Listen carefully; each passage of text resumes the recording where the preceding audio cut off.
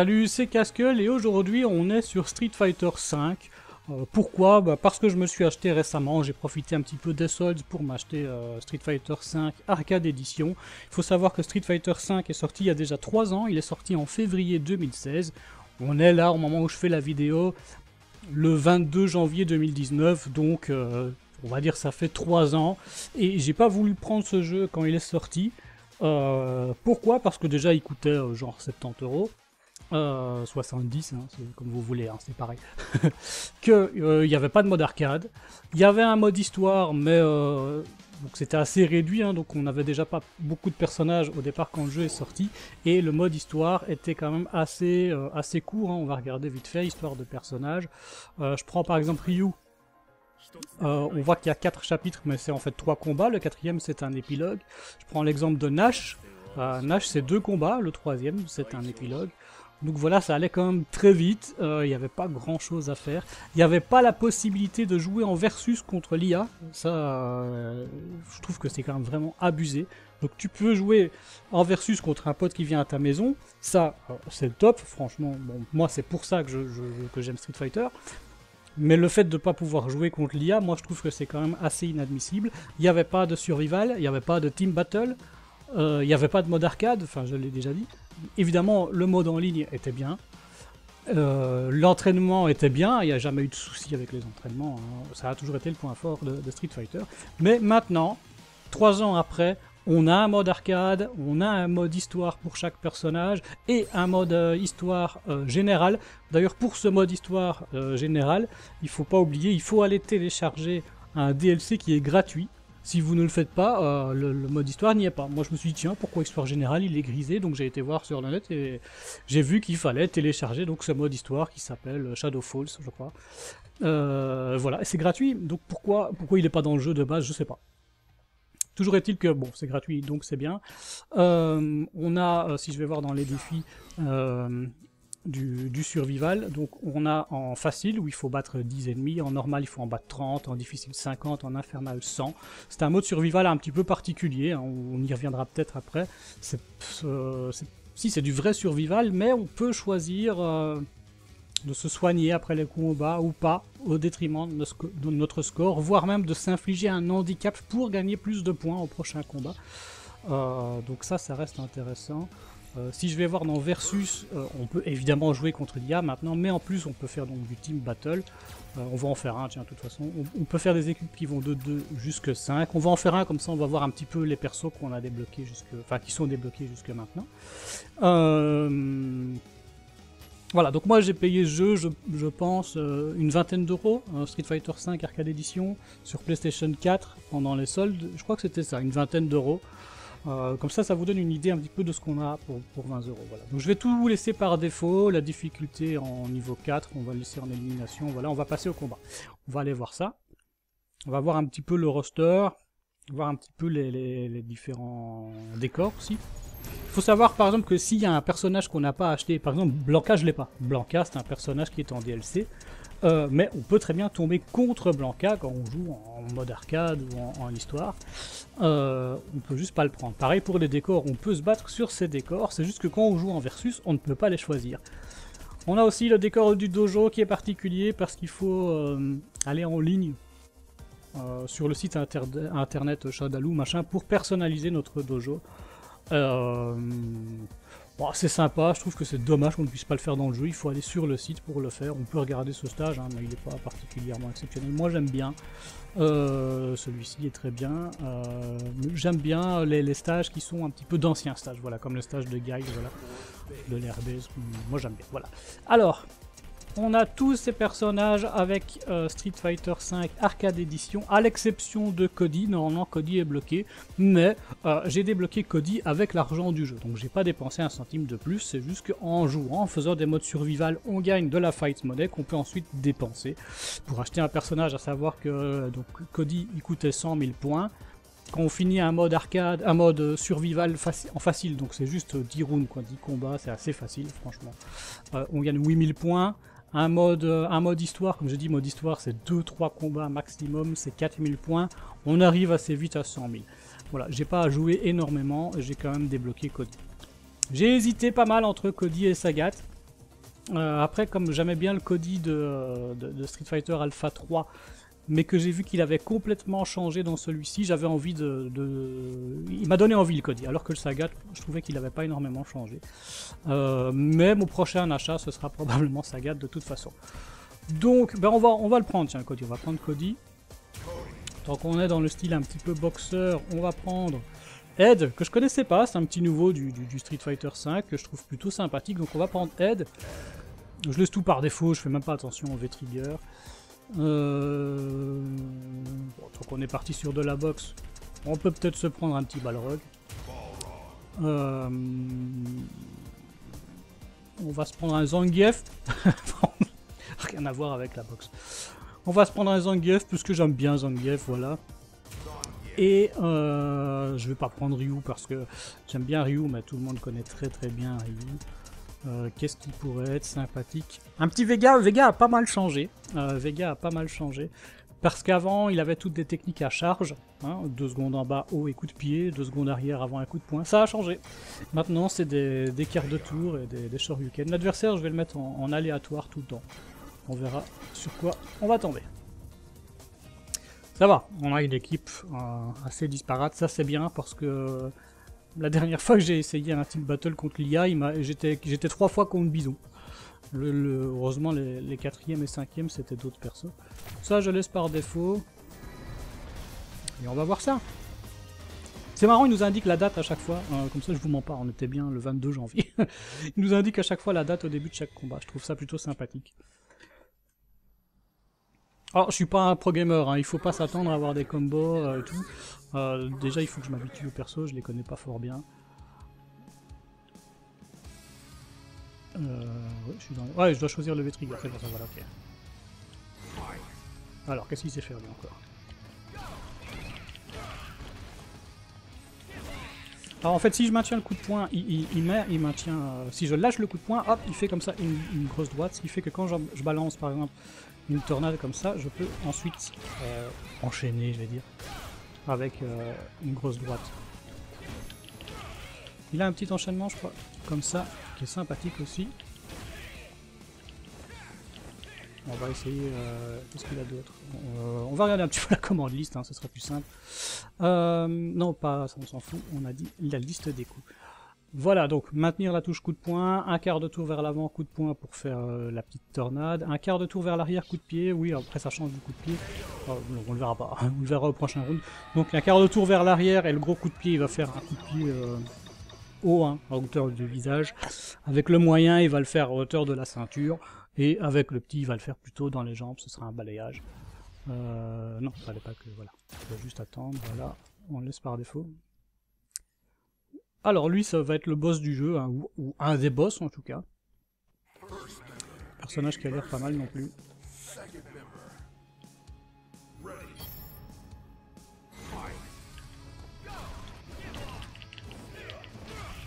Voilà, c'est ce coup de pied là, mais bon, j'ai un peu foiré. Après, je peux maintenir mon coup de poing, faire le coup de pied, et je peux quand même enchaîner, enfin enchaîner. Bon, comme je disais, faut pas s'attendre à du beau jeu. Hein.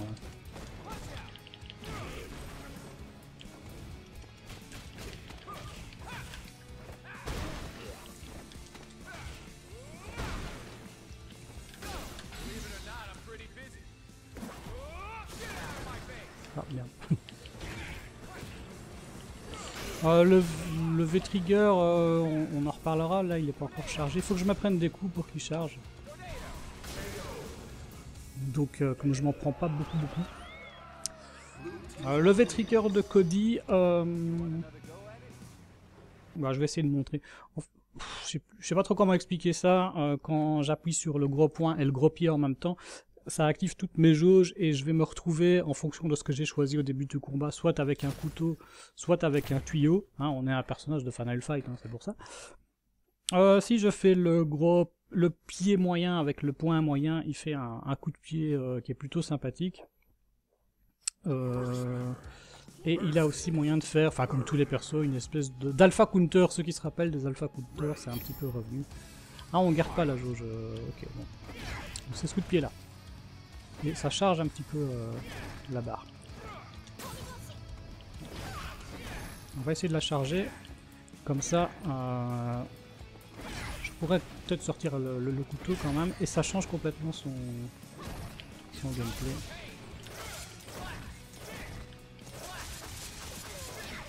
Ah bon, je peux faire que deux coups avec, c'est ça qui m'a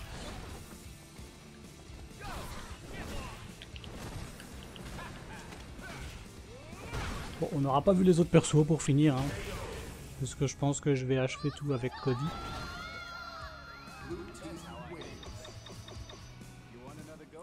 Alors là, en difficulté, je suis en niveau 4. Je peux vous assurer qu'en niveau 8, ça n'a plus rien à voir. Le, gap est vraiment énorme. Ici, c'est assez facile. Mais euh, on le fera après, je ferai un combat en niveau 8, on verra que ça n'a plus rien à voir.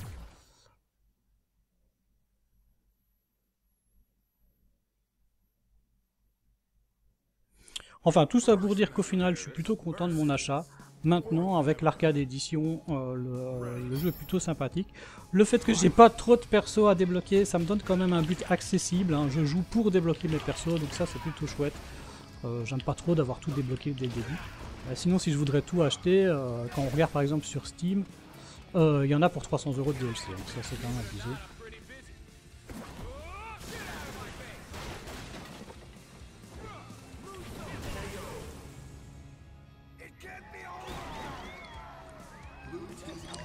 Mais euh, bon, la plupart des DLC, c'est des, costumes, euh, des stages, des musiques. C'est pas le plus important. Hein. Bon, pour moi, le plus important, c'est d'abord les personnages, ensuite, euh, ensuite les, costumes. Il y en a qui sont vraiment beaux. Il y a moyen d'en débloquer avec les, défis. Il y a un mode qui s'appelle combat supplémentaire. C'est pas encore très clair hein, sur le fonctionnement. Mais on peut débloquer, on, va peut-être aller voir ça après. Ça devrait pas être trop de problème.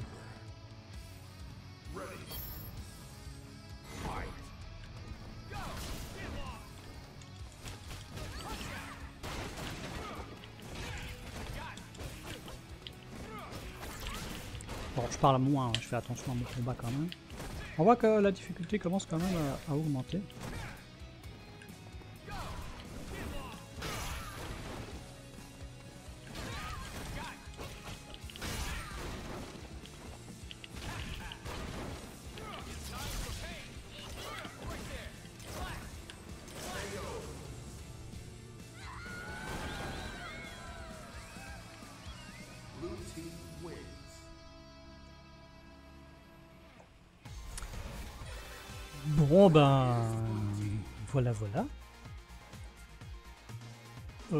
Au menu principal, on va aller voir donc euh, ce fameux combat supplémentaire, ce que c'était, et puis euh, je ferai un, match en versus en difficulté 8.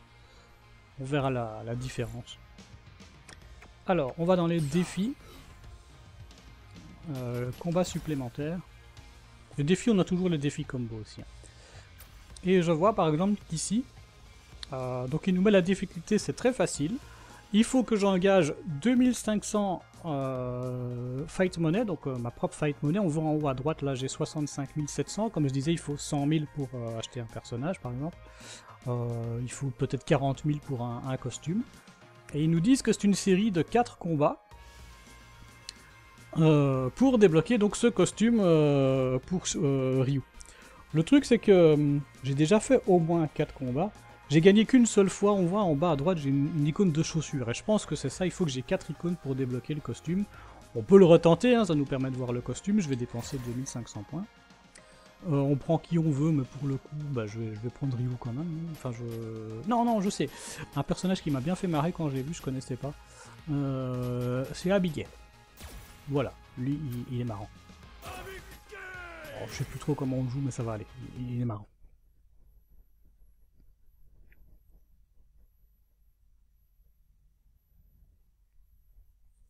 Il est énorme, encore plus grand que Hugo. Enfin, Hugo, c'était un personnage de Street Fighter 3 qui était plus grand que Zangief et que Sagat, je pense, qui était plus grand que Sagat.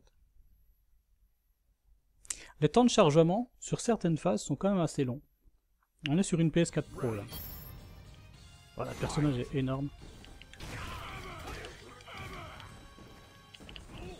Alors, une projection, il a... Euh, je me rappelle. comment il faisait encore? Le costume de Ryu là, il est, il est, magnifique. On va tenter la projection. Voilà, ça c'est une bonne droite. Il faut que je regarde les coups. Il y a un truc que je me rappelle plus, donc ça on a fait. Euh... Ouais, c'est deux coups de pied, ok. Deux coups de pied, donc il se met en position et à partir de là je peux choisir euh, en fait ce que je vais faire, genre un, coup de poing, tout ça. Ce qui fait que ce personnage est quand même énorme. Oui, j'avais oublié ce coup là. on va le faire en ex. Ah, je l'ai raté. Boum. Bon, après, c'est un défi normalement time battle. Hein. Le, but, c'est quand même d'aller plus vite que ça. On va voir ce que j'ai gagné. Bah non, non. J'ai euh, gagné de l'XP. 100 d'XP. Mais j'ai pas, euh, pas d'icône pour le costume. Euh, je peux vous assurer que j'ai déjà fait quelques combats et j'ai eu qu'une seule icône. Donc, enfin voilà. Apparemment, il y a moyen en enchaînant comme ça les combats de gagner des costumes. On va revenir au menu principal. Je pense que ça va déjà être la fin. Euh. Ah oui, j'avais parlé d'un combat. En versus, au niveau de difficulté 8, on va faire ça. Ça pourrait être marrant. Je vais me prendre un perfect. Ça va pas être beau à voir.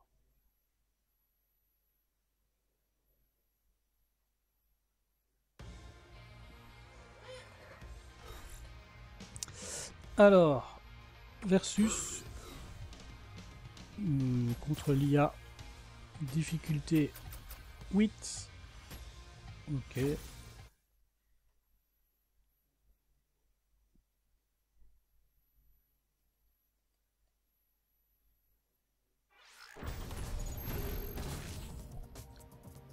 On va changer de stage quand même. Euh, hmm, on va le mettre en aléatoire je vais prendre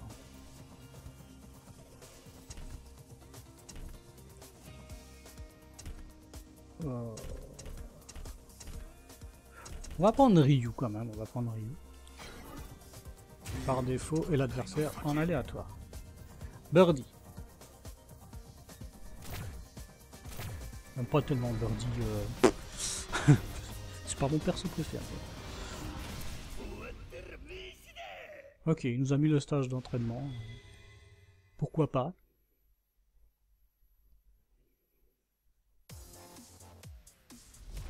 Après, on peut aller dans les options paramétrer de façon à ce que quand on met stage aléatoire, euh, on ne tombe pas sur les stages qu'on n'aime pas, par exemple. Il y a moyen de faire ça.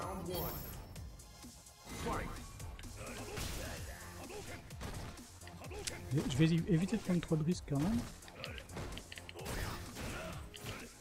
Aïe, aïe.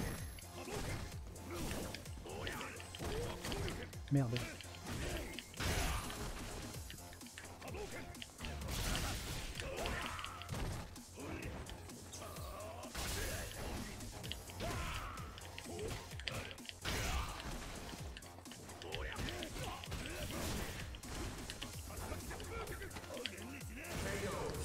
Voilà, voilà, voilà.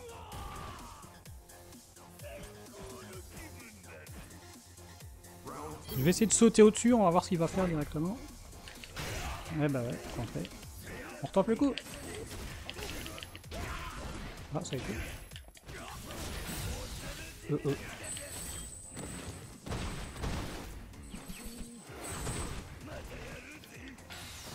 Et ça s'est raté, j'imagine. Hein? Eh bah ouais.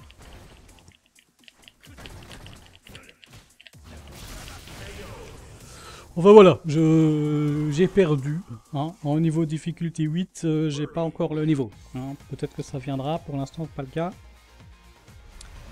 J'avais pas joué à Street depuis un bon moment, il faut vraiment que je me remette. Ben voilà. Euh, alors, prochainement, il y aura sûrement une série de, vidéos, sur Tabletop Simulator. Euh, simplement parce que j'ai besoin de visuels pour les mods que j'ai uploadés sur le workshop.